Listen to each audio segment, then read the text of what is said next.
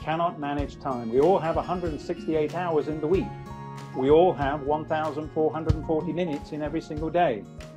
You see, whether we use it or whether we lose it comes down to some basic principles, tools, ideas, skills, habits that can help us to be able to maximize and optimize the finite resource that we have called time. We have to get facts sorted. We have to be very careful. We can be a very productive, paranoid person if we look for empirical evidence. This is not the time for knee jerk reactions. The people that get through difficult situations are not the ones that rely solely upon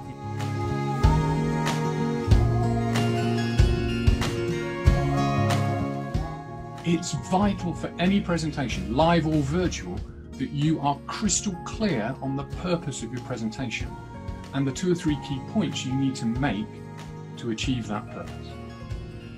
And when I ask people the question, what is the purpose of your presentation?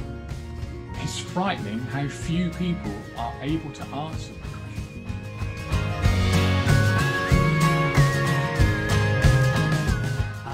We think somebody who's emotionally intelligent is somebody who is achieving what they want, what they want, and helping others achieve what they want. So it's about our own goals and it's about other people's goals. And here's, I've shortened that to be living and working successfully alongside other people in the world. Of course, we've got to plan. We're salespeople. Well, of course, we plan our calls.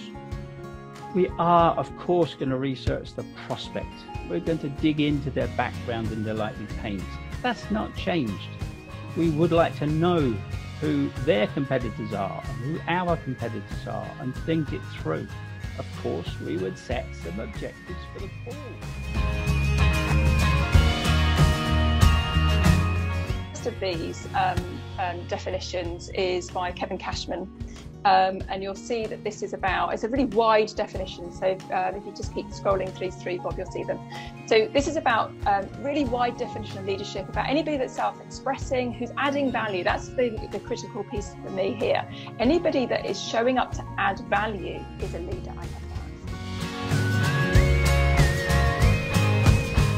Then let me share with you my favourite quote um, I use it a lot, and for me, it sums up the communication challenge. It's from George Bernard Shaw, and it's the single biggest problem in communication is the illusion that it's taking place. And most of us think that we're communicating clearly and effectively, but is that an